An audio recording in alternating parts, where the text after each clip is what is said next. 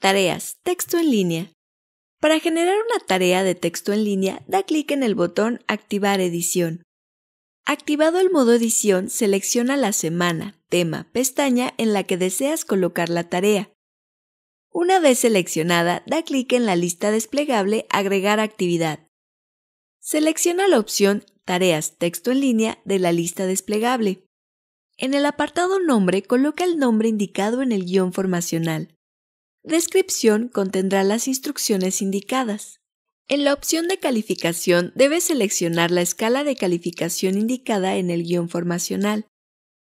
Debes indicar la disponibilidad del curso seleccionando las fechas en el apartado Disponible en, así como la fecha de entrega en el apartado correspondiente.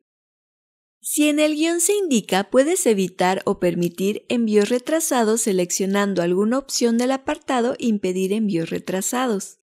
En el módulo Subida avanzada de archivos, debes seleccionar las siguientes opciones según se indica en el guion formacional. Permitir reenvío, alerta de email a los profesores, comentario en línea. Con base en el guion, configura la opción Ajustes comunes del módulo. Las opciones utilizadas aquí son modo de grupo y categoría de calificación actual.